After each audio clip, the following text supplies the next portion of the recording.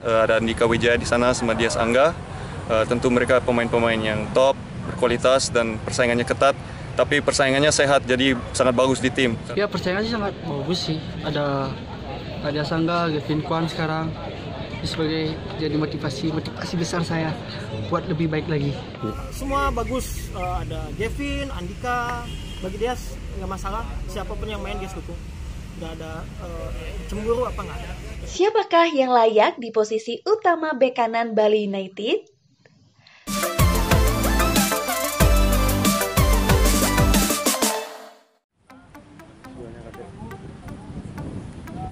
Persaingan posisi bek kanan Bali United kian ketat.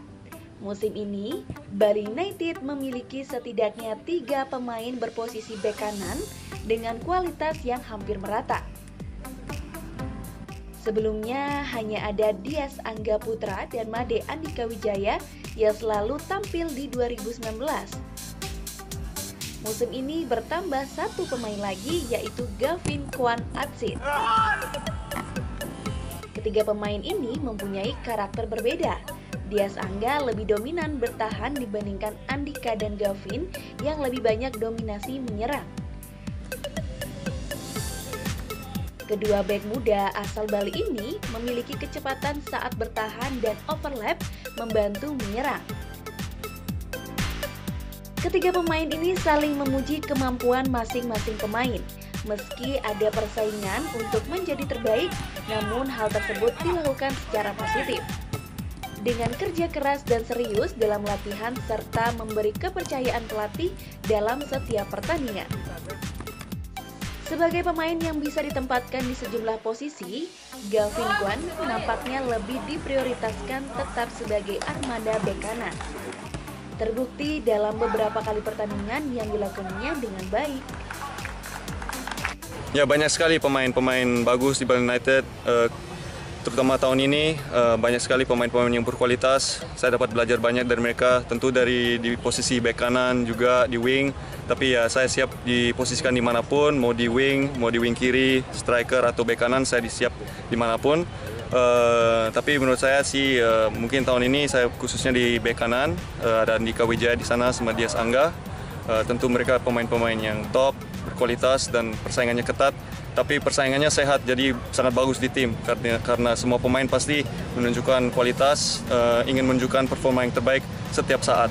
Ada.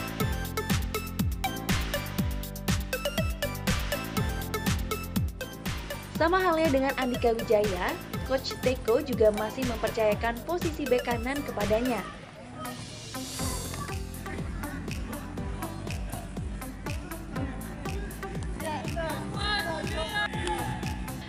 Tentunya, untuk terpilih sebagai starter dalam setiap pertandingan, putra dari legenda pesepak bola Bali, Made Pase Wijaya ini pun harus kerja keras.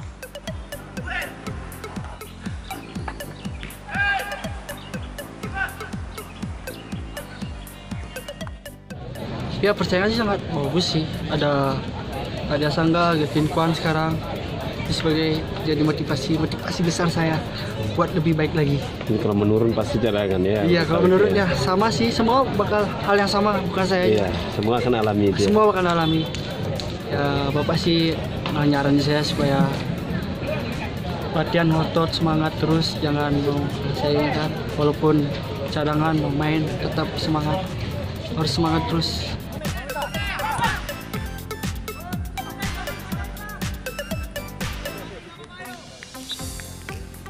Sedikit berbeda dengan Dias Angga yang mendapat tantangan baru dari pelatih.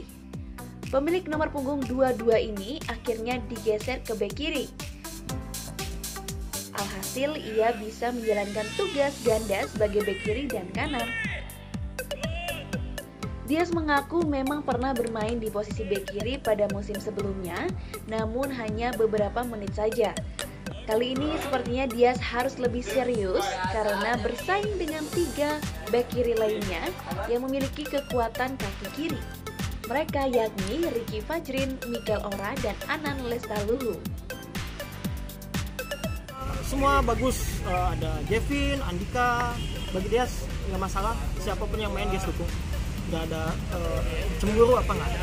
Kita sama-sama sportif eh, pikir positif eh, siapa pun yang main dukung. Nggak masalah sih mau main di kanan mau main di kiri yang pasti kalau coach eh, memberikan kesempatan dia ya dia selalu siap. Yang pasti kita eh, bahu membahu untuk membangun tim Bali United ini.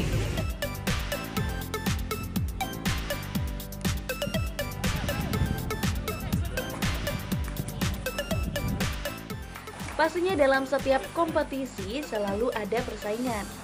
Tetapi bersainglah secara positif dan sportif demi lambang Bali di dada. Bali United Jaya!